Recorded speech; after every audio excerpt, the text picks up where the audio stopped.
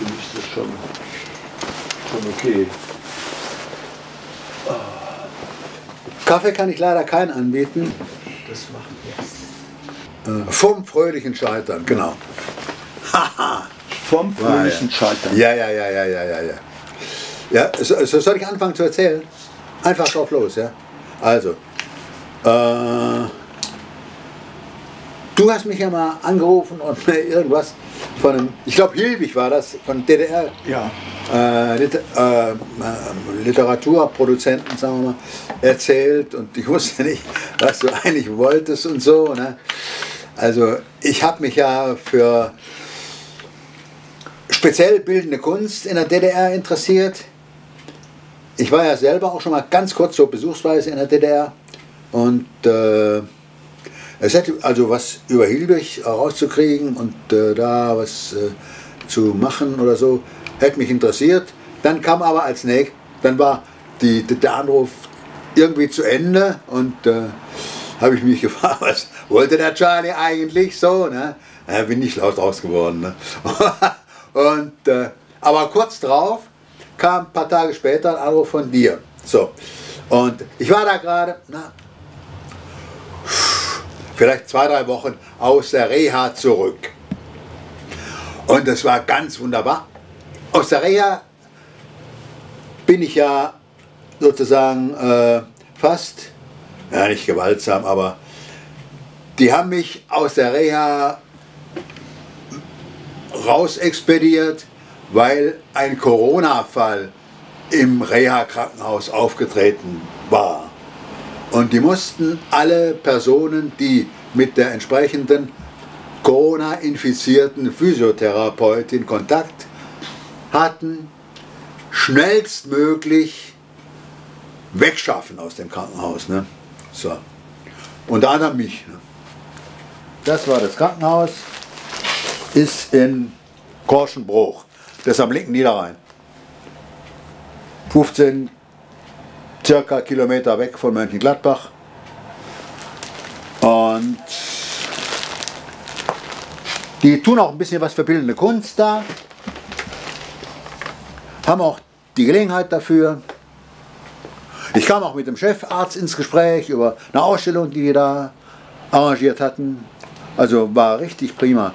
Und ich hatte natürlich Aufwind. das war dermaßen toll da. Ne? Schon vorher, dass äh, die mir das Knie dermaßen super operiert haben, hier im Marino, Quatsch, im äh, St. Vinzenz Krankenhaus. Das ist jetzt eine auf Orthopädie spezialisierte Klinik. Wir haben da sowas von gut gemacht und äh, auch da in Korschenbruch, da mit den niederrheinischen Patienten, zum Teil niederrheinische. Ne? Andere Patienten waren auch welche, die es mit Krebs hatten. Ne? Sehr interessant. Ne? Ich hatte es ja noch erfreu erfreulicherweise nie mit sowas. Und welche, die es mit Gemüt, also äh, äh, Seele, Seele. Ne? Weiß, wie nennt man sowas? Ne? Also, ne? Psychotherapie. Naja, also, naja, also ich mit den Leuten mich unterhalten ne? und äh, das war richtig gut da. Normale Leute halt, ne? so. Ja, kam zurück und Adelheid fand es gut, konnte mit mir was anfangen ne? und haben dann Quarantäne, wir hatten ja, mussten ja zwei Wochen Quarantäne machen. Das war ganz, ganz schön und äh, unsere, was wir einander mitzuteilen oder so sonst war zu geben und äh, zu nehmen, hatten, war ja richtig, war richtig schön. So, ne? Und da kam dein Anruf, ne? Und willst du was machen? Ja, und ja klar, sicher, ne? Und, äh,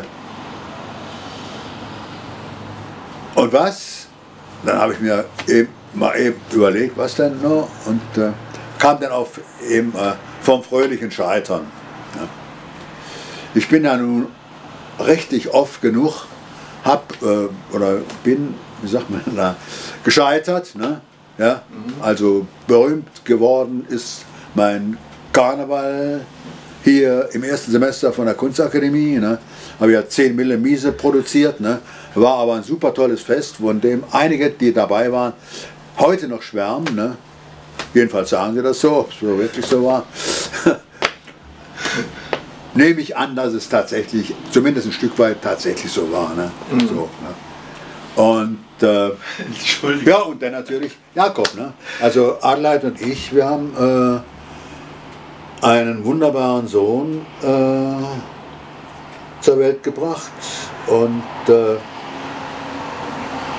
ich in der Hauptsache war nicht in der Lage, ihm so viel Anregung zu geben, dass er hier äh, normal hätte sein normales oder irgendwie geartetes normales Leben äh, weiterleben wollen und hat mit 28 Jahren äh, sich das Leben genommen. Das auch noch nach einer quasi Vorankündigung. Er hat in seiner Wohnung hier in der Ellerstraße sich die Pulsadern aufgeschnitten, hat aber noch einen Krankenwagen angerufen, die kamen an und haben ihn da noch rausgeholt und kam ins Krankenhaus und nach, was weiß ich, drei Wochen vielleicht kam er wieder aus dem Krankenhaus raus und dann haben wir wieder ein normales Leben hier geführt. Ne? So, wir haben, äh, Adelheid hat eben eine neue Küche eingerichtet, wo er da wohnte und äh, ich saß hier ne, an der Tür und habe hier tagsüber meine Bierflaschen getrunken und äh, ausgetrunken und äh, gelesen und geraucht und äh, habe ihn wohl mal besucht, aber äh, nachdem er dann seinen erfolgreichen Selbst, äh, seine erfolgreiche Selbstbeendigung seines Lebens äh, hinter sich hatte, ja, die hat er sehr erfolgreich durchgeführt. Also hat sich mit, hat sich erkundigt im Internet, wie man sowas am besten macht und hat das, ohne dass wir irgendwas mitgekriegt haben, äh, durchgeführt, richtig planmäßig. Ne? Für mich zumindest und für Adler natürlich auch, ne? war das, was man Scheitern äh, als Scheitern bezeichnet, ne? als Eltern. Ne? So, ne? Dabei war Jakob, äh, der hat ein halbes Jahr vorher noch äh, eine Platte aufgenommen, ne, mit unter anderem einem Lied. Mein Vater hat ein Zimmer aus Papier. Ne, so, ne. Damals war hier noch reichlich äh, Zeitungen in Plastiktüten aufgestapelt. Das war schon schwer horrormäßig ne, für Adelheid vor allem, ne, meine Frau. Das war also Scheitern. So. Und dann fröhliches Scheitern. Dass ich da in der Reha, auch schon vorher, da, wir sind ja, ich, wir haben uns mich ja äh, zur Knieoperation angemeldet zu einer Zeit, als das Krankenhaus, das Vinzenz, Vinzenz Krankenhaus, uns freigestellt hat, ob wir den Operationstermin akzeptieren oder lieber noch eine Weile warten. Das war nämlich zu Zeiten, als es noch relativ brenzlig war, wie das mit äh, Corona und Krankenhaus, also Reservierung von Intensivbehandlungsbetten oder nicht. Und zuerst haben die uns unseren angepeilten Termin äh, abgesagt, von sich aus, das Krankenhaus. Können wir nicht, geht nicht, ne? wegen Corona. Wir brauchen die Betten für äh, Corona-Patienten. Und dann aber haben sie angerufen und gesagt, jetzt könnten sie, wenn sie wollten. Und äh, so ganz ungefährlich war es nach wie vor nicht, aber das Risiko war einschätzbar. Zumindest für jemand wie uns. Ne? Und wir haben ja gesagt, ja, machen wir gerne. So, ne? Die Krankenhäuser waren damals auch verlegen und Patienten, ne? die müssen ja auch Geld verdienen. Ne? Und äh, also da machen wir gerne mit. Ne? So. Und alles wunderbar und da dann Reha auch, alles wunderbar. Ne? So echt.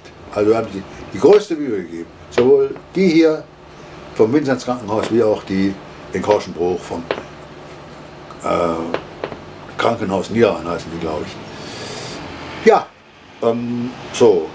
Und äh, unsere Quarantäne dann war auch richtig gut. Ich habe Feste gezeichnet, da auch ein schönes, schönes Blatt. Kann ich euch zeigen, wenn ihr wollt. Äh, habe ich mit dabei. Ne? Äh, den Gehhilfen, den Krücken, ne? da als zu einem, in der Zeichnung zum Kunstwerk eingesetzt. Ne? Ja. Du rufst an, was willst du denn machen da? Ne? Überleg kurz ne? und dann vom fröhlichen Scheitern. Gescheitert, klar, ne? keine Frage. Der Chibi, der hat seine und seine Frau, ne? so auch der hat der sowas von heftig zugemutet. Ne? Das geht, naja, ne? so, also scheitern, klar, ne? so. Und, aber irgendwie haben wir es doch hingekriegt, dass das, äh, ja, ist ja wirklich, äh, das ist nicht schlecht, ne? echt nicht. Mit den beiden Fenstern so, ne? Ja, ne, so. Und dann, nachdem ich da das gesagt hatte, kam die Nacht. Oh, ja, was hast du denn? Hast du nicht alle Tassen im Anni? Na, du, dann, ah, ich krieg da richtig das arme Tier. Ne? Das, Mensch, Meier, was, was, von Fröhlich, jetzt gib, erzähl den Leuten mal was von Fröhlich, du. Hier, na, also hier, na, das gemeinsame Kind nimmt sich das Leben, ne, von wegen Fröhlich. Da, was? Na, also du, erzähl uns mal nichts von, naja, sowas halt. Ne? Und das ging nicht mehr, das, das, hat, das ist immer stärker geworden. Ne? Und dann, dann habe ich eben abgesagt. Ne? Da am nächsten Tag schon. Dem Steven, dem Steven, das sollte ja beim Steven stattfinden. Ne? Richtig guter Freund von mir. Ne? Und Steven angerufen morgens um was weiß ich, halb zehn oder so. Steven geht auf gar keinen Fall. Ne? Äh, Steven hat da ja, hat zur Kenntnis genommen, was sollte er noch machen. Ne? So, und dann, sobald es ging, habe ich dich dann angerufen. Also das geht einfach nicht. Ne? Mir war das sowas von peinlich, ne? weil äh, ich schätze dich ja auch richtig. Ne? Wir haben ja da schöne Sachen da im Kalaswas zusammen gemacht und äh, Mensch, Meier, also ja so. Und äh, dann habe ich mich aber auf den Hosenboden gesetzt. Komm, das muss doch irgendwie zu schaffen sein, verdammte Kacke. Ne? Mir ist es doch nicht nur aus Zufall so gut gegangen. Na, so, ne? Und, äh, und dann habe ich, mich, hab ich mich richtig, ich habe mich richtig entschlossen, was weiß ich wann, kann auch nachts gewesen sein, da im Bett und äh, komm Jung, äh, das kriegst du hin. Ja.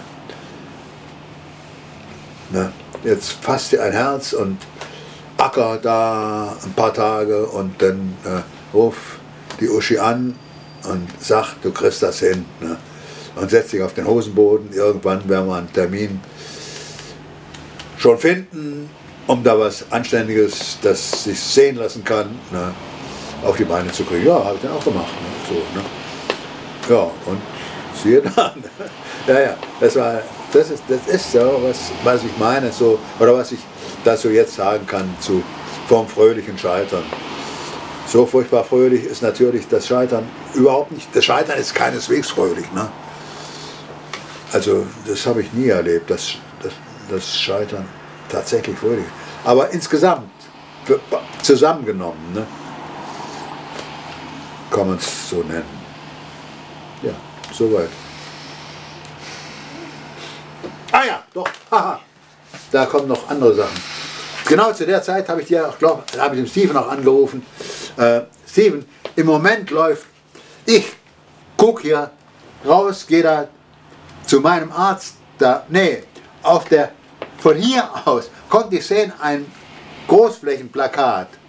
Ne, die üblichen Großflächenplakate, die hier so rumstehen. Naja. Äh, was sehe ich? Charlotte Posenenske. Weiß, die habe ich ausgestellt. In Hannover hatte ich eine Galerie. Eine kleine Galerie H. Und ich habe die Posenenske ausgestellt. Und die steht da auf dem Plakat. ich denke, ich sehe nicht richtig. Und dann dahin, was war? Ja, K20, Einzelausstellung Charlotte Posenenske. Ne?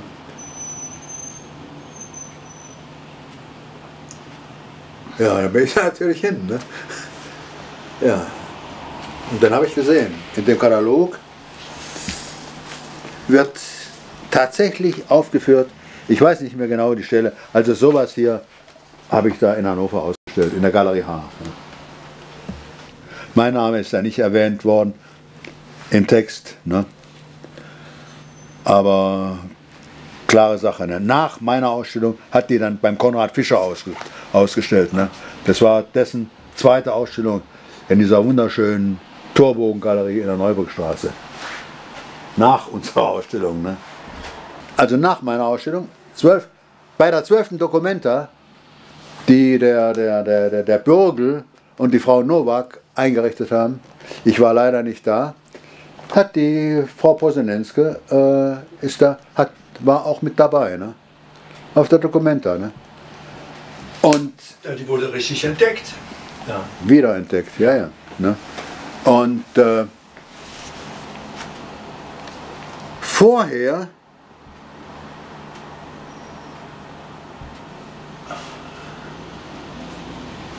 ist dieser Katalog erschienen, auch mit Fotos von der Galerie Hart.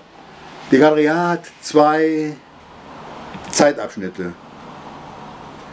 Erstmal so, wie sie Deutschland quasi kennengelernt hat, nämlich unter anderem mit einer Ausstellung von Gerhard Richter. Hier steht der Gründer, Herbert August Haseke und Gerhard Richter, da. Und da ist der Graupner. Allerdings, das ist eine Ausstellung später, Galerie Ernst. Und Galerien gemeint ist unter anderem auch eben diese Galerie H mit ihren zwei Teilen. Und da ist auch ein Abschnitt drin, naja, wo äh, Galerie H und mein Name als Galerist drin steht. Ich habe nämlich den zweiten Teil bestritten. Der Gründer der Galerie H hat mir, der zu seiner Zeit mir zu seiner Zeit hat mir, der zu seiner Zeit als so eine Art äh, Helfer da mit der Galerie verbunden war. Ich habe nämlich nachmittags, wenn Öffnungszeiten waren, mich da hingesetzt und aufgepasst, dass nichts geklaut wurde oder beschädigt wurde und dafür zum Mittagessen vorher eingeladen worden war. Das war ein Ehepaar, Kunsterzieher, beide. Der Herbert August und seine schöne Frau. Und zwei kleine Kinder gab es da noch. Nachdem er, der hat, ich glaube, sieben Ausstellungen gemacht, außer mit Richter, die Ausstellung hieß Polke Richter, ich habe da die Einladungskarte entworfen, ist auch da abgebildet. Äh, hat mir seine Galerie geschenkt. Nach sieben Ausstellungen, nachdem er gesagt hat, ich höre jetzt auf. Weil er null verkauft hat. Der hat ausgestellt Graupner, Richter und Polke, Girke, Antonio Calderara und Konrad Luke als Künstler. Ne? Posenenski. Bitte? Nee, nee, die Posenenski habe ich ausgestellt. Ich habe ausgestellt, also fehlen noch zwei. Ne? Eine war Jerzy Kolaj, das war ein Tscheche, ein sehr schöner, was heißt schöner, also ein äh, älterer Herr, der so Schnittbilder malt, richtig. Der hat mir eins geschenkt. Von seinen Schnittbildern, die hat er da gemacht. Ne? Der wohnte da zwei, drei Wochen bei den Haseges, ne? die hatten ein schönes, großes Haus. Parterre wohnten sie und gab auch dann für Gäste wahrscheinlich so eine Art Gästezimmer. Ne? Also da haben mehrfach, mehrfach Gäste gewohnt. Ne? unter anderem eben Jerzy Collage. Ne? Und irgendwie als Dank dafür, für die Ausstellung und auch sonst, dass es ihm so gut gefallen hat, hat er eben, dem Haseger hat er auch so ein, so, so ein Schnittbild geschenkt ne? und mir, weil ich da aufgepasst habe, auch sein Schnittbild geschenkt. Ne? Und noch der Siegfried Neuenhausen, der ist später Professor, ich glaube glaub in Braunschweig geworden. Damals war der auch Kunsterzieher. Das war eine ganze Handvoll Kunsterzieher, die damals aus Düsseldorf, von der Düsseldorfer Kunstakademie, nach Niedersachsen, hauptsächlich nach Hannover gezogen sind, weil es hier keine Stellen gab. In Niedersachsen wohl. Also das waren unter anderem Haseke selber und seine Frau. Ne? Und die haben auch für jede Ausstellung, jede der sieben Ausstellungen, einen kleinen Katalog hergestellt. Die konnten die herstellen, weil die Eltern von der Frau Haseke eine Druckerei in Krefeld hatten und die Hasekes da die Schulden auflaufen lassen konnten. Bei den Eltern war das nicht so schlimm sozusagen. Ne? Haben aber wirklich null verkauft. Ne? Graupner, ne? sagte schon, Kirke, Richter, Polke, einer von den vielen auch Kunsterziehern da, der später eine Professur in Hamburg, glaube ich, kriegte. Helms, Dietrich Helms, Tiger de da, war ich dabei, um so ein Polke-Rasterbild, Bavaria zu lesen, rum. Soll das sich nun leisten, die 800 Euro, die das damals kosteten, sich aus den Rippen schneiden oder lieber doch nicht. Ne? Er ist dann beim lieber doch nicht geblieben und so dass null verkauft worden ist. Ne? Der Neufer, der Oberstadtdirektor da, ne? also der praktisch technische Oberbürgermeister, der später da, dafür, mit dafür gesorgt hat, dass die Nanas von der Niki de Saint-Phal in Hannover am schönen Leineufer aufgestellt wurden. Der war natürlich auch bei uns. Wir hatten ein super tolles Publikum da zur Eröffnung. Ne? Da war die intellektuelle Haute Volée da. Ne? Oberstadtdirektor Neufer, dann der Chef, der Herausgeber vom Theater heute, die führende Theaterzeitschrift damals und seine Mitarbeiter, später Ernst Wendt, der Chefredakteur war vom Theater heute, dann noch so ein paar Großkopf. Äh, hier Kunst, na Quatsch, Norddeutscher Rundfunk, Funkhaus, Maschsee, auch der Chef, wie hieß er nochmal? Ah, fällt mir jetzt leider nicht an. Marenholz hieß der, der war auch da. Ne? So. Der Neufer, der Oberstadtdirektor, hat Hoffnungen gemacht, dass er vom Calderara, das sind so sehr atmende äh, Farben. Kennst du, kennst du da mhm, welche? Mhm. Ah, ja, ja. Abstraktion. So, ja, ja, aber auf Landschaftsbasis. Mhm. Ne? Ja, so, äh, uns, ich jetzt, Hoffnung gemacht, dass ein mittelgroßes da die Stadt ankaufen würde. Ne? 40.000 sollte das damals kosten. Ne? Fast ein Schnäppchen. Ne? Also selbst für damalige Verhältnisse, naja, nicht gekauft. Naja, dann hat der Hase gesagt, willst du, hier, ich mache jetzt Licht, willst du weitermachen? Ich glaube, ich habe innerhalb kürzester Zeit, es war wahrscheinlich kein Tag, gesagt, ja, gern gesagt. Ne? Wieso hast du dir das zugetraut? Ja, einfach so. Ich habe ich hab ein bisschen, mir hat das Spaß gemacht da. Ne? Ich fand die Bilder toll, ne? so. Ne? Und das Ganze drumherum, naja, ich werde, ne? Geld verdient habe ich. Ich habe in einem kleinen, in Hannover, immerhin Landeshauptstadt, ne? also ne? 600.000 Einwohner oder so, ne? äh, habe ich in einem kleinen Theaterchen Kabarett ist da gespielt worden. Dietrich Kittner, so ein Kabarettist damals. Äh, ganz guter. Ne? Äh, äh, Habe ich, hab ich das Foyer betrieben. Da gab es eine kleine Bar, war so ein langer Schlauch, ging vielleicht von hier bis da, wo mein Bild da hinten hängt. Ne? So lang war das. Schmaler oder noch kürzer, schmaler Schlauch. Drei, vier Tische. Hab dann da äh, so aus Blechbüchsen und ein bisschen Glühbirne und Fassung, so Lampen fabriziert und die dann montiert und da äh, Arbeiten von Studenten von der damals Werkkunstschule ausgestellt. Rüdiger Höning ist der, wir nannten ihn Kuhfuß, äh, hingen da und da kam mal zu einer Eröffnung, ich hatte da so einen kleinen Tresen, ne, so war der Chef, sonst war keine Bedienung da oben, ich habe das da managed, ne, als Angestellter. Normales kleines Geld gekriegt dafür, davon habe ich gelebt. Äh, ich habe damals Architektur studiert. Und äh, da kam mal äh, so ein Trüppchen, also gute fünf Leute, an und sagt, oh, ist ja schön, was du da machst. Ne? Aber wir machen was Besseres. Wir machen eine Galerie, eine richtige. Ne? Äh, wenn du Lust hast, kannst du mit helfen.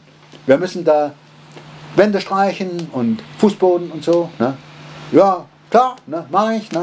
Bin dann da, hab da mit denen zusammen das Ding da äh, Wände, Wände weiß, ne? Wer war's? Ne? Hase selber, ne? seine Frau, ne? so. Und äh, dann der Neuenhausen, der war Kunsterzieher, ne? dann der Girke, ne? Kinder hat Girke hatte später äh, Professur irgendwo gekriegt. Ne? So, der Girke, wer war da noch? Ja, noch so ein paar. Also Kunsterzieher, ne? Kreune, der hat die erste Eröffnungsrede bei mir gehalten und noch so ein paar. Ne? Haben wir zusammen da fit gemacht. So, und dann die erste Ausstellung war Graupner. Ja, und gleich viele Leute da. Ne? Graupner war schon ein bisschen bekannt. Ne? So, ne? Geheimtipp. Vorher gab es in Hannover eine sehr gute Galerie von einem Einzelnen. Sind auch hier aufgeführt. Adam Seide. Hieß der jetzt, ist später nach Frankfurt. Hat damals noch zusammen mit dem Herausgeber vom Theater heute, Rischbieter, Henning Rischbieter, der auch, ah, das sagte ich ja schon, bei uns Stammgast war, ne, äh, eine Zeitschrift Yardbird hieß die, rausgebracht, zusammen mit dem Adam Seide. Und äh, der Adam Seide, eine sehr schöne kleine Galerie am Schwarzen Bären, eine tolle Gegend in Hannover, da äh, etwas vor Ort. Ne. Hanomag ist da in der Nähe, Maschinenfabrik, ne. Äh, Traktoren und so. Ne? Äh, später ist er nach Frankfurt gezogen. Der hat damals Uecker, habe ich beim, Acker, beim Adam Seide gesehen. Eine Uecker-Ausstellung. Ersten Stock. Das war Kleider, Kleiderbügel so auf den, auf den Pin, äh, auf den Pin befestigt. Ne? So, schön weiß angestrichen. Ne? War also erst, ne? Und, äh, ja, ja, ja, ja. Äh, der Adam Seide war, glaube ich, da schon nach Frankfurt gezogen, hat da eine sehr schöne Zeitschrift ausgegeben. Egoist hieß die. Typisch Adam Seide.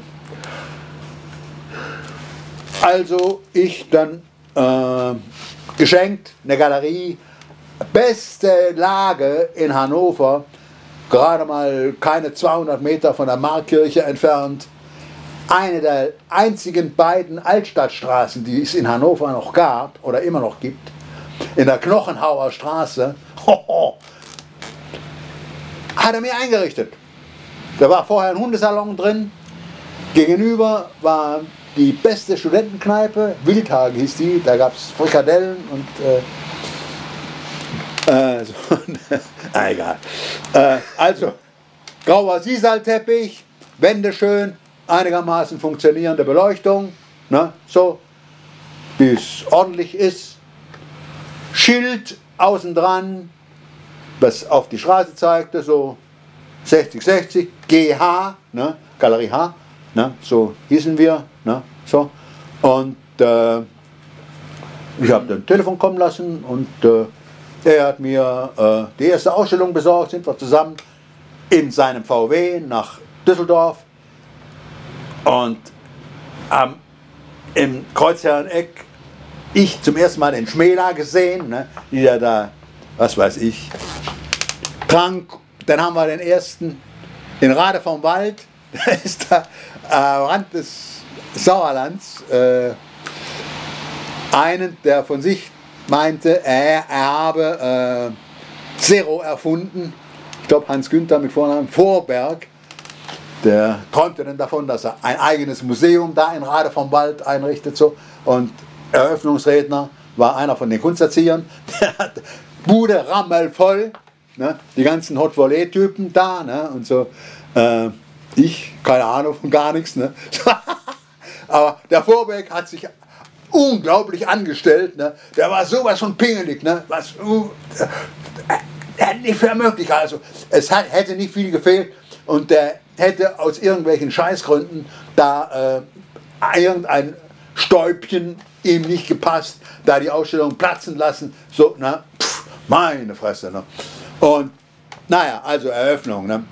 Kräune vor, na, und was, was, was, was? Ja, gut, okay. Ja, ja, gut.